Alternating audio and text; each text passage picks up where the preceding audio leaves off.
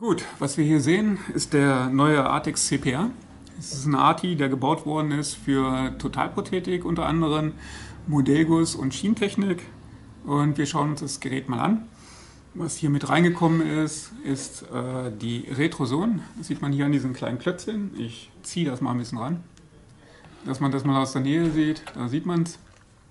Die kann man jetzt öffnen. Das ist der eine kleine. Klotzt, ah, und da geht es in den retralen Bereich rein. Und das ist der andere kleine Klotz, wenn ich den öffne. Das ist die Retroson und das ist der wesentliche Anteil. Und wenn ich die Retroson geöffnet habe und öffnet man das Centix-Schloss, dann sieht man auch, wie diese kleinen Klötzchen hier in dieser kreisenden Bewegung in den retralen Bereich reingehen. Ja, und in diesem Bereich arbeiten eben viele Patienten, die älter sind, weil sich die Zähne im Alter runterarbeiten und wir aus einer hackenden Zerkleinerung der Nahrung kommen in eine kreisende Bewegung. Ja, und dafür ist der Arti gebaut. Wir schauen uns das mal mit Zähnen an. So sieht es eigentlich beim, beim Jugendlichen aus. Wir haben eine starke Verzahnung, damit kann man super genial seine Nahrung zerkleinern. Ja, man sieht auch hier eine starke Verzahnung am Vierer, also er hat einen Retralschutz drin. Im retralen Bereich arbeitet man noch gar nicht, wenn man jung ist. Ja, das sieht echt toll aus. Das gleiche sieht so, wenn man ein bisschen älter ist, ganz anders aus. Einfach mal Unterkiefer, Seitenzähne. Wir sehen jetzt überall schon Schliffersetten im Seitenzahnbereich. Ne? Das System hat sich eingearbeitet, die Zähne sind flacher geworden. Und wenn die Zähne flacher werden, dann kommen wir aus einer hackenden Bewegung in eine kreisende Bewegung. Also hier die Unteroberkieferfront können wir natürlich nicht in die Front reinkreisen, sondern es ist in den retralen Bereich, also nach hinten kreisen mit den Zähnen, äh, weil vorne die Frontzähne sind. Wir schauen uns das Ganze mal an.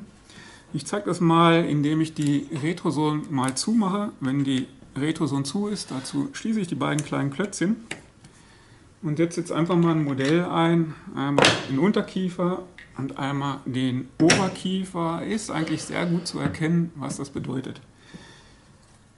Ich zoome jetzt mal ein bisschen ran, schauen wir uns das mal an.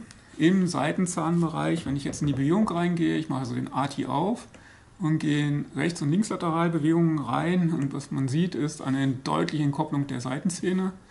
Also die Zähne haben keinen Kontakt, auch der, die inneren Höcker haben keinen Kontakt, also die Front entkoppelt die Seitenzähne vollständig in den Protrusionen und Lateralbewegungen. Jetzt machen wir das gleiche Spiel mal mit geöffneter Retroson. Und das ist das, was immer so spannend ist, wenn man sich das mal anguckt. Man glaubt eigentlich gar nicht, was da alles passiert. Ich öffne die Retrusion, also der Patient oder der Mensch kann den Unterkiefer nach retral bewegen. Gleicher Bewegungsablauf in den Bereichen, also Unterkiefer ein bisschen nach hinten, da sieht man die Bewegung und jetzt sieht man hier die kreisende Bewegung und man sieht, wie stark man in die Okklusion plötzlich eintaucht. Also es ist ein unwahrscheinlicher Unterschied, das mal zu sehen, was es bedeutet, mit Retrosion zu arbeiten. Und in der Situation werden dann Totalprothesen Frühkontakte eingeschliffen, also Mörser-Pistil-Prinzip, das kreisende Bewegung. In der Öffnung werden Auflagen und Klammern eingeschliffen bei Modellguss. Da sieht man nämlich auch häufig, dass Behandler Auflagen und Klammern dann noch korrigieren müssen. Und in diesem Bereich werden auch Schienen nachgeschliffen, weil auf Schienen sieht man häufig oder hört man auch häufig von den Behandlern, dass da noch Fehlkontakte waren, meistens im molaren Bereich und dass diese Bereiche noch nachgearbeitet werden mussten. Gut, um das zu verdeutlichen, schließe ich den ATI nochmal und ich werde mir die erste Arbeit schnappen. Was haben wir gemacht, um das ein bisschen darzustellen? Wir haben also einen 28er genommen, haben das dubliert und haben es in Gips ausgegossen. Hier haben wir einmal den Unterkiefer dubliert und den Gips ausgegossen und hier haben wir einmal den Oberkiefer in Gips ausgegossen. Ich setze das in den ATI rein. Und jetzt wollen wir mal gucken, wie das aussieht. Eigentlich ist es perfekt aufgestellt, es ist perfekt fertiggestellt, es wurde eingeschliffen alles. Und jetzt gucken wir uns das mal an in der Okklusion, was noch nachgearbeitet werden muss. Wie gesagt, Retroson ist geöffnet in diesem Bereich. Ich kann also den Unterkiefer nach hinten fahren. Auch da nochmal ein bisschen aus der Nähe zu sehen die kleinen Klötze, wie sie hier jetzt nach hinten fahren und ich kann diese kreisende Bewegung machen.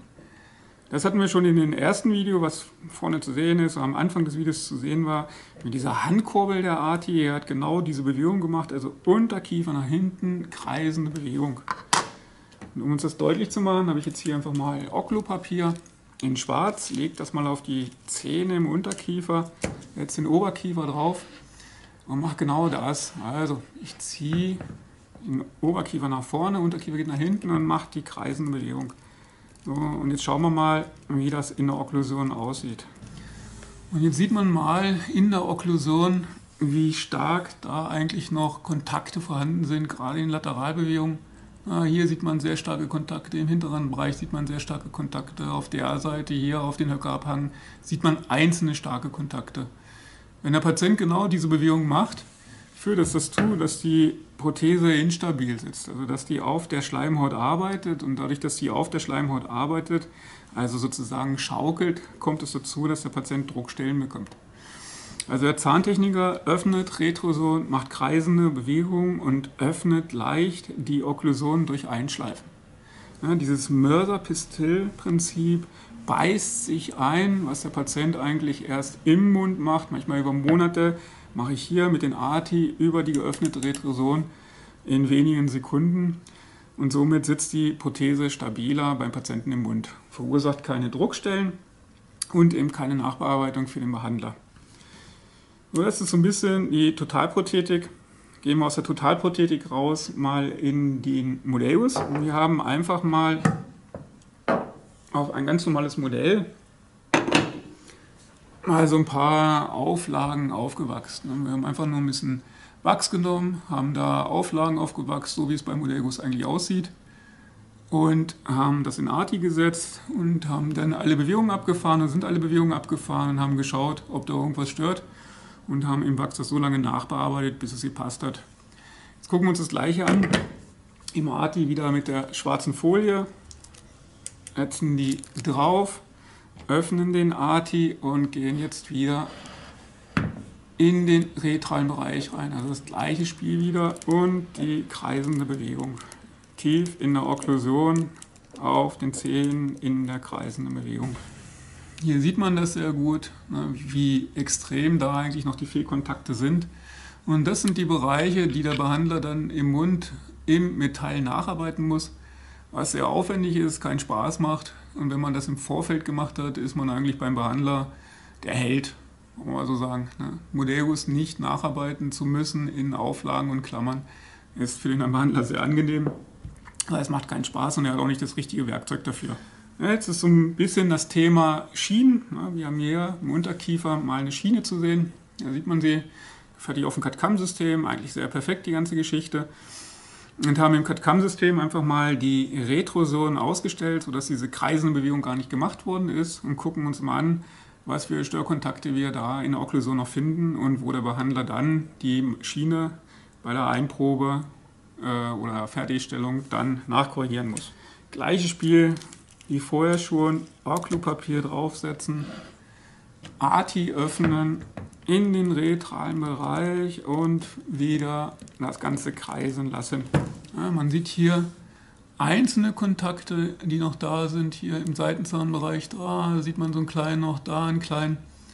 Und auch auf der anderen Seite in den Lateralbewegungen. Das sind also keine zentrischen Kontakte, sondern das sind wirklich in den Lateralbewegungen Frühkontakte, und diese Bereiche öffnet man noch ein bisschen und öffnet die Okklusion, schleift das noch ein bisschen weg und die Prothese, die Schiene sitzt dann schon sauber. Gut, das war so ein bisschen der Ausflug in den neuen Artex CPR, der draußen das Leben erleichtern wollte. Er schließt die Lücke zwischen den großen und den kleinen Artis und wie gesagt ist da angesiedelt, wo Kunststofftechniker arbeiten, also im Bereich Totalprothetik, im Bereich Schienen und wo die Techniker aus der Modellguss arbeiten, also die ganzen Auflagen und Klammern zu korrigieren.